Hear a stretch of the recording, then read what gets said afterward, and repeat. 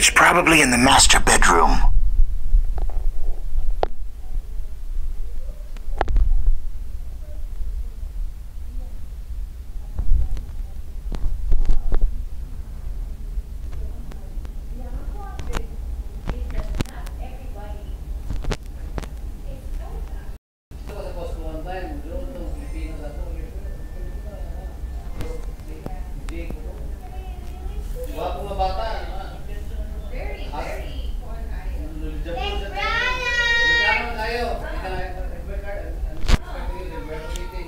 Goodbye, guys.